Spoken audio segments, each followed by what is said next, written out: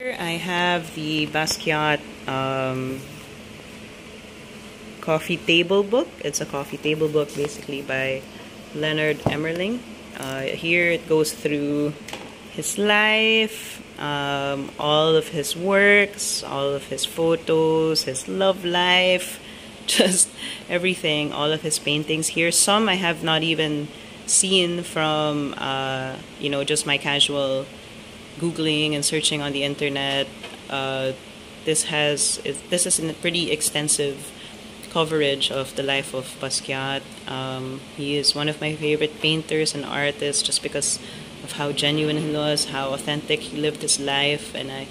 Uh, I always looked up to him for that, for him always staying true to himself. Um, but this book uh, is uh, very insightful, very inspiring, and a great coffee table book as well. So I would recommend it.